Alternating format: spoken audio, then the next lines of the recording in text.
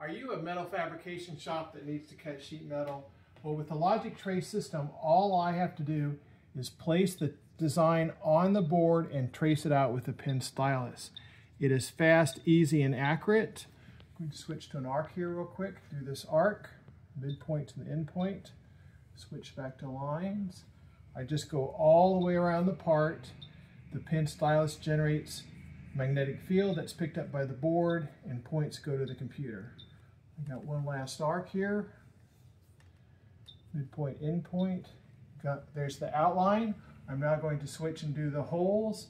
I'm going to do one point holes with a half inch or a 0.05 inch diameter. Just digitize a single point inside all those holes.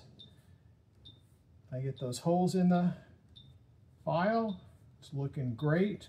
I'm now going to do the fold lines. I'm going to do the fold lines in a different color. Change the color to blue.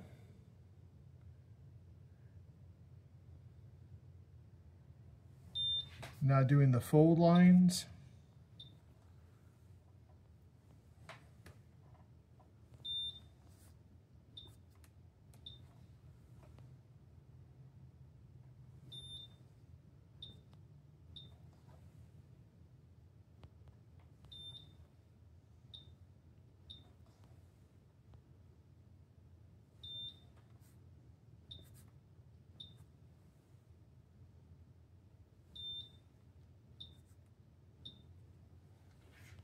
Screen. And I'm finished. I've got a great outline. I have all the holes and I've got the fold lines. Let's save a file and load that into SolidWorks, AutoCAD, Mastercam, anything.